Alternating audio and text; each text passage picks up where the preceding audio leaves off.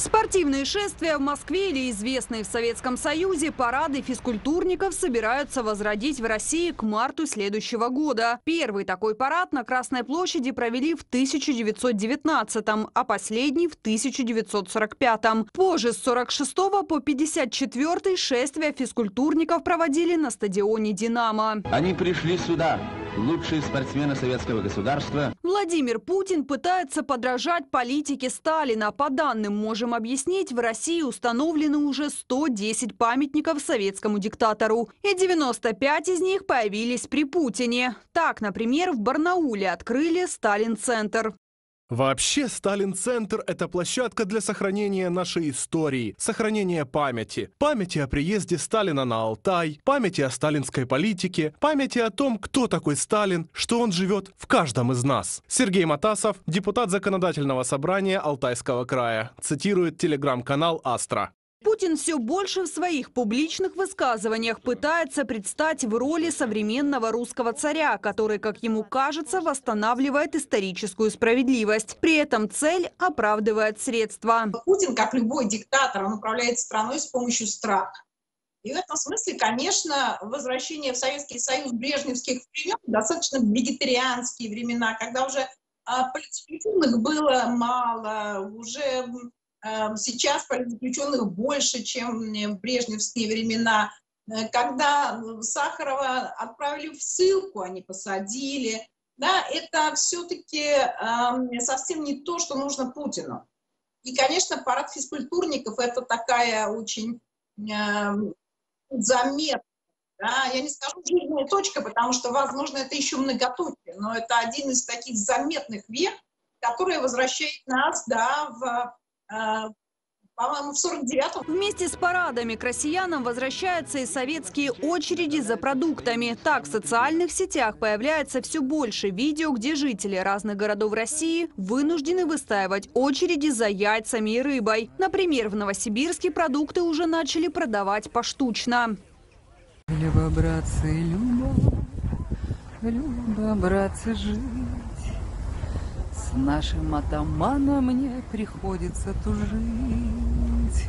Советскую риторику использует Путин и в своих высказываниях о войне против Украины. В Институте изучения войны проанализировали выступление диктатора на коллегии Министерства обороны России 19 декабря и пришли к выводу, что он продолжает использовать тезисы своего эссе 2021 года. В частности, псевдоисторические упоминания о структуре отношений Украины и России, которая якобы определяет земли современной суверенной Украины как части Малороссии, Новороссии или фрагментов других исторических империй. Путин расширил эти заявления, предположив, что и западные регионы Украины якобы не являются на самом деле украинскими. А советский диктатор Иосиф Сталин, мол, отобрал и отдал в Украину части Польши, Румынии и Венгрии после Второй мировой войны. Из из отчета Института изучения войны. Пытается подражать Путин Сталину и в попытках уничтожить украинскую зерновую инфраструктуру и спровоцировать голод в разных уголках мира, заявил историк, профессор Ельского университета Тимоти Снайдер во время специального события Киевского форума безопасности.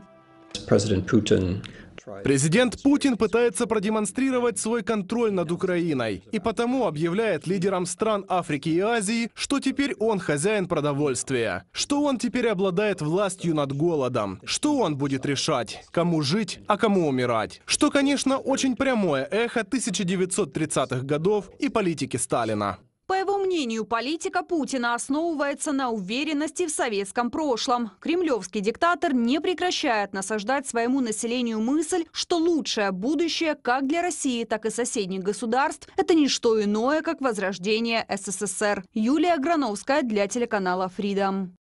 Игорь Александрович Яковенко, российский журналист, социолог. Приветствуем вас, Игорь Александрович. Доброе утро.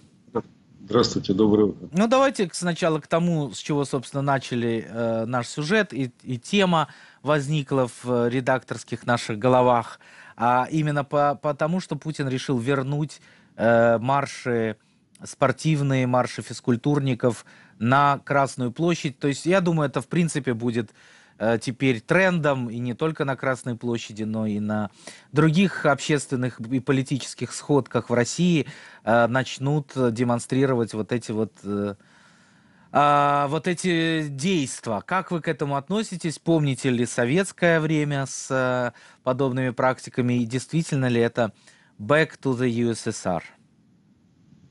Ну, в какой-то степени. Это имитация, конечно, возврата в Советский Союз, потому что никакого возврата быть не может. Но э, тут, э, ну, в целом, что происходит? В России, э, в отличие от Советского Союза, нет никакой идеологии. Есть э, мифология. То есть э, идеология это все-таки не, некоторый образ будущего, причем писанный образ будущего. Это какие-то тексты, где описывается прошлое, настоящее, будущее. Ничего похожего путинском, э, путинском фашистском рейхе нет. В нем есть мифология. А мифология это как раз э, вот, э, так сказать, описание некоторого прошлого. И вот идеализация прошлого, идеализация Золотого века, причем в качестве Золотого века описывается Советский Союз, именно не Брежневский, причем, что характерно, именно не последний, не Горбачевский, не Брежневский, не Хрущевский, а именно сталинский. Потому что если говорить о вот таких вот э, спортивных парадах, то это, ну, прежде всего, сталинское время. Вот, э, так что это ритуалы. Миф держится на ритуалах. И основные мифы, которые Путин сегодня э, провозглашает, это миф победобесия, который держится на ритуале парада Победы, на ритуале празднования 9 мая, и, так сказать, миф, мифы о великом вожде всех народов Путине, который сейчас будет воспроизводиться в ритуале вот этих вот выборов 15-17 э, э, марта. Ну и фактически мифа о великом прошлом, который будет воспроизводиться в виде ритуалов самых разных. Это и ритуалы э, спортивные парады, и, и другие ритуалы вот такого сталинского времени. Сталинское время почему выбирается в качестве некоторого идеала? В качестве золотого века, потому что это был период, когда, во-первых, действительно была крепкая рука, э, чего очень хочет э, изобразить Путин. Это был, э, так сказать, какой-то период там, той же самой победы над фашизмом, который Путин сейчас при, приписывает себе. Ведь, что характерно, Путин уже так искажает историю, что не только приписывает всю победу над фашизму исключительно Советскому Союзу, но даже утверждает, что одна только Россия могла, э, вполне победила, э, так сказать, без участия всех остальных союзных республик. То есть, на самом деле, до такой степени искажает историю, что ее уже невозможно узнать.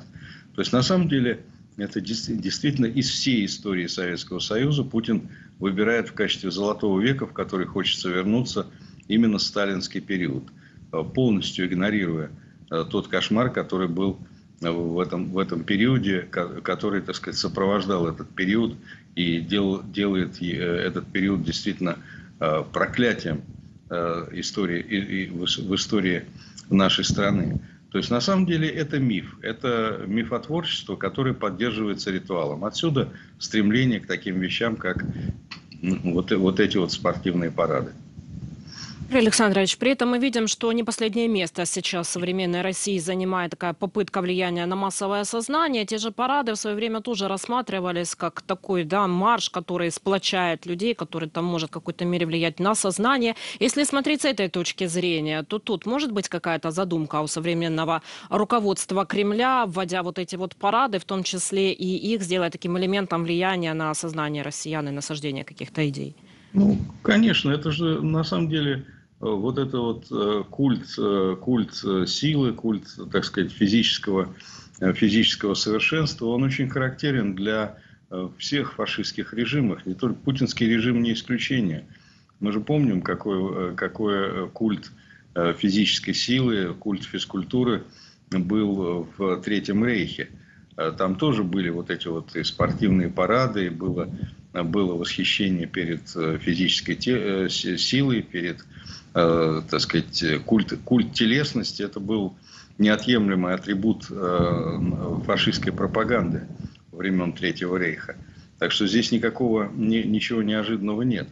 А, значит, ну, что касается э, обработки массового созна... массовой обработки сознания, то, конечно, ничего, э, ни в какое сравнение, ни геббельсовская пропаганда, ни э, сталинская пропаганда с тем, что происходит сегодня в России – ни в какое сравнение не идет. И в известной степени, когда говорят, ну какой там сталинский период, ведь намного нет этих массовых репрессий. А массовых репрессий нет по одной простой причине, потому что их заменяет всепроникающая Э, всепроникающая э, медийная агрессия, потому что достаточно э, точечных репрессий для того, чтобы, которые распространяются миллионами СМИ, миллионами в социальных сетях сообщений для того, чтобы вызвать, вызвать, так сказать, тот страх, который в сталинские времена мог достигаться только в результате массовых репрессий. Достаточно показать там аресты и распространить информацию об арестах Э, там нескольких э, сотен или нескольких тысяч человек для того, чтобы посеять страх в головах э, десятков миллионов россиян. То, чего Сталин достигал убийством и расстрелами десятков тысяч людей. Путину для этого не надо. Для, для этого нужно просто-напросто посадить несколько сотен россиян для того, чтобы это молниеносно стало известно. Ведь когда черные воронки приезжали к россиянам в сталинское время, об этом узнавали, э, узнавало незначительное количество людей. Очень многие, живущие по соседству, были уверены, что никаких репрессий нет. А сегодня такой возможности нет, потому что есть соци социальные сети, есть информация, которая проникает практически в каждую семью мгновенно. Поэтому, конечно, э, на сегодняшний момент вот это вот информационное подавление сознания россиян, оно значительно, оно больше, массивнее, изобретательнее, чем это было в сталинский период и э, в Третьем Рейхе. Просто и вот есть такая формула Солженицына, что э, значит, э, ложь прикрывает насилие. А, сегодня Путин перевернул эту формулу. Ложь является фундаментом, а насилие является просто прикрытием лжи.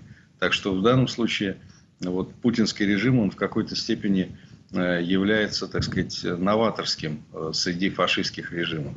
Он существенно отличается от всех остальных предшествующих ему фашистских режимов, которые знало человечество.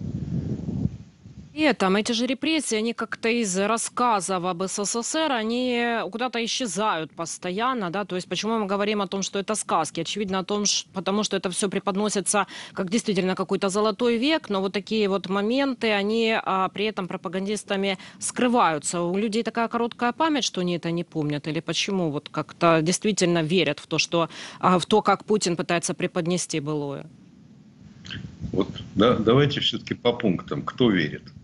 верят, э, верят в основном те люди, которые никогда не жили ни в СССР, ни даже в, ни, ни в пост, ну, вообще не жили в СССР. Молодежь верит, да, которые просто э, э судят по СССР по художественным фильмам, где рассказывается о том, какая была великая страна, э, как все нас, нас боялись, как все нас в мире уважали. И э, Советский Союз вообще вертел весь мир на пальце. Это, так сказать, одна сторона вопроса. Другая сторона вопроса – это те люди, которые жили в Советском Союзе, но, э, как у многих, понимаете, воспоминания, они связаны, ну, э, так сказать, молодость, э, девушки любили, вода была мокрая, мороженое вкусное, дешевое и так далее. То есть вот такого рода воспоминания. Плохое не, не, не, вспоминается. Ну и последнее, и самое противное во всей этой истории забвения сталинских периодов – заключается в том, что те, кто был в сталинские годы а, значит, превращен в лагерную пыль, эти люди, как правило, ну, во-первых, сами уже не, не, не, э, так сказать, их нет на свете, поэтому они не, составля... не, не влияют никак на общественное сознание.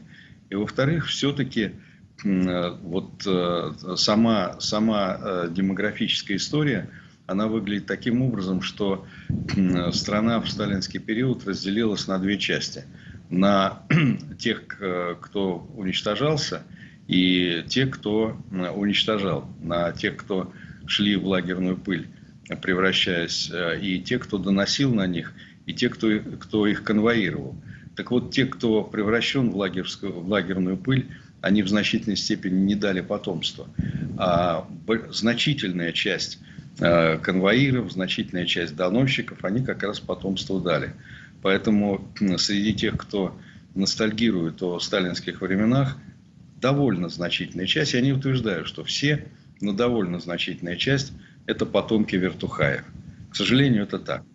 Это вот э, очень серьезная, э, очень серьезная проблема, связанная с э, таким вот отрицательным, постоянно действующим отрицательным отбором на протяжении 74 лет советской власти. Постоянно действующий отрицательный отбор. Ну и плюс к тому, это целое, вот если применять поколенческий анализ, то это испуганное поколение. Э, я родился при Сталине, но, естественно, я, так сказать, не застал ну, в таком зрелом сознательном возрасте сталинский период. Но у меня вся семья, все, все мужчины в семье были репрессированы. А э, вот в семье, ну, практически женской части, которая осталась в живых, это было, была испуганная семья. И старались об этом не говорить. Старались, э, так сказать, в общем-то, в основном не, не упоминать, вычеркнуть из памяти эти, эти, эти события. Очень немногие э, люди, которые были диссидентами, которые действительно открыто выступали против репрессий, против, э, так сказать, советского строя. Поэтому в основном вот это деформированное, деформированное население России, которое на сегодняшний момент вспоминает, э, вернее не вспоминает, а представляет сталинский период как какой-то золотой век – это, во-первых, люди, которые не имеют вообще ни малейшего представления, судят об этом по кинофильмам, которые в последнее время, ведь э, смотрите, э, российские кинофильмы, э, они в основном сталинский период показывают как ну, нечто достойное самого Сталина, а тоже как какого-то мудрого полководца, генералиссимуса. Очень мало художественных фильмов, в которых Сталин изображается таким, как он есть то есть чудовищный тиран, кровожадный убийца. Нет, в основном это такой э, мудрый, мудрый полководец. И воспринимается сталинский период именно как некий золотой век, когда э, страна, Советский Союз была великой, огромной, могущественной, все боялись. Э, есть фильмы о СМЕРШе, о чудовищном. Ведь, ну, вот вчера был День чекиста, и э, огромное количество фильмов – которые прославляют чекистов, которые прославляют СМЕРШ, чудовищное проявление э, чекистского режима. И э, сколь, сколько фильмов, которые, в которых, так сказать, э, ЧК э, и НКВД, и КГБ, МГБ э, описывают как ну, блестящих, там, я не знаю, начиная со Штирлица, романтизируется образ вот этого кошмарного образования, террористической организации, которая была создана Лениным, и которая явилась проклятием всей, э, всей советской истории, до сих пор является проклятием России. Потому что ничем, ни, никоим образом не изменилось э, ФСБ нынешнее. Это практически тот же самый, то же самое ЧК, то же самое НКВД, тот же самый КГБ по структуре, по характеру, по чрезвычайщине, по самой, э, самой структуре образования, когда она пронизывает все, все общество, и территориальное, и по э, профессиональному признаку. То есть на самом деле все это романтизируется. Я еще раз напомню, э, Штирлиц, Щит и меч, вот все эти фильмы, они романтизируют э, эту преступную террористическую организацию. Так что чему удивляться, что удивляться тому, что люди ностальгически воспринимают Советский Союз сталинского периода и Сталина лично, хотя ни, ничего не знают об этом, не жили в эти времена и, так сказать, с трудом представляют себе это в совершенно искаженном свете. Игорь Александрович, в заключение вот как раз хотел о том, о чем вы говорите, что приводят примеры этого золотого века, э, сталинский ампир, все так красиво, могущественно. А ну, ведь очевидно, что этот режим закончился крахом, крахом страны, страна распалась. А, и не так уж безболезненно, как пытаются об этом говорить. То есть в чем смысл тогда пытаться превознести режим, реальность, которая в конце концов закончилась крахом и поражением в холодной войне? А здесь э, надо иметь в виду, что мифология, которая э, в путинской России заменила идеологию, она дает объяснение всему этому. Значит, э, как объясняется э, распад Советского Союза? Как объясняется поражение вот этого вот советского проекта? Объясняется тем, что после Сталина э, значит, было, была деградация. Объясняется тем, что вот если бы Хрущев не, не так сказать, начал разоблачение культа личности Сталина, если бы дальше не, прошла, не пошла вот это вот, так сказать, разложение партийной верхушки, ну и, наконец, самым главным предателем, преступником э, в этой мифологии является Горбачев. Что на самом деле при Сталине это все было хорошо. А потом вот последователи, они все провалили, все предали, все, все так сказать, там э, продались и так далее. То есть на самом деле говорится о том, что вот Сталин это хорошо, а вот э, Хрущев это хуже, Брежнев тоже так себе, ну, кстати, Брежнев воспринимается как Э, вполне достойный человек. Огромное сожаление, что Андропов рано умер. Ну и, наконец, главное, главный предатель, главный преступник – это Горбачев, то есть человек, который дал народам Советского Союза свободу фактически. Там особенно за, за, за нее мало кто боролся. Тем не менее, вот Горбачев воспринимается как главный предатель, главный виновник и так далее. Поэтому вот верните Сталина, верните Сталина, и все будет хорошо. Вот такой вот миф.